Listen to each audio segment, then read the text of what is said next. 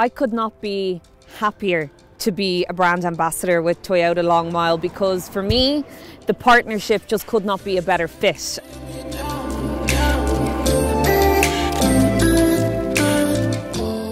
My first car and my only car was a Toyota Yaris 1.0 first generation. My dad bought it for me when I passed my driving test and it was a little blue Yaris and I've been driving it for 15 years and it's kind of almost become this running joke amongst people who know me well, like Lottie and her little blue Yaris, and I just never could get rid of her because she was just the perfect car. She fit in every car space. She was always passing the NCT. And so I had no reason to get rid of her. And then I decided it was time to upgrade.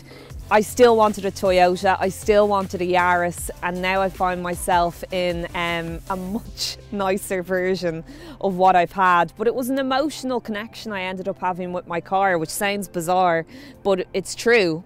Um, to be totally honest, I don't know how I'm going to say goodbye because I will be an emotional wreck.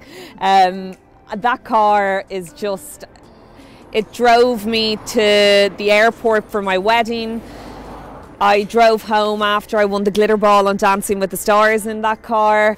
I have had, I've cried in that car, I've laughed in that car, I've had so many life moments, and even my family are upset to say goodbye to that car, but they won't be when I rock up in this.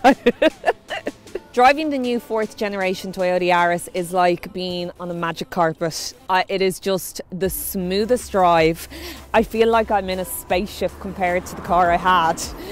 All the technology, how far things have come since my last car, blows my mind. Even the simplest things, taking a phone call in the car safely um, with the speakers, look, being able to see where I'm reversing, the smallest things makes such a difference.